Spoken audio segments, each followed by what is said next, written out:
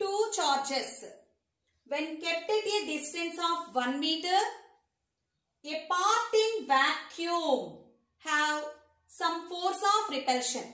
When two charges are placed in vacuum at a distance of separation 1 meter, these two forces are repelled with each other with some force of repulsion.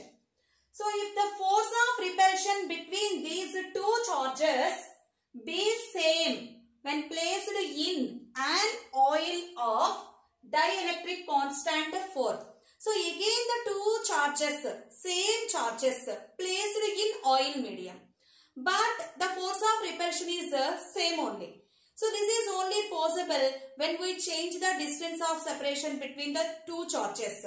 So here the distance of separation is, we have to find the distance of separation in between the two charges when placed in oil medium.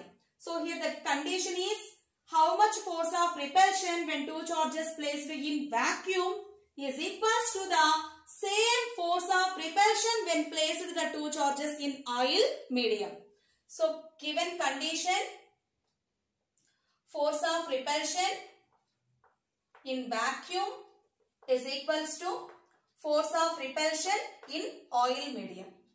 So when placed in vacuum distance of separation is equals to 1 meter and uh, in oil medium we want let it be D we want to find out this value. So now in vacuum by using the Coulomb's law 1 by 4 pi epsilon naught q1 q2 by square of the distance of separation between the two charges given value is 1. So 1 square is equals to in oil 1 by 4 pi epsilon naught q1 q2 by d square into 1 by k. Here dielectric constant is uh, 4. So in this place substitute uh, 4.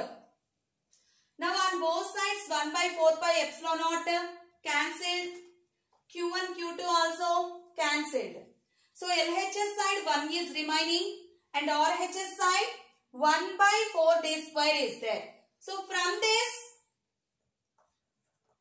d square is equals to 1 by 4. d is equals to 1 by square root of 4 that is equals to 1 by 2. So distance of separation in between the two charges when placed in oil medium is equals to 0.5 meters.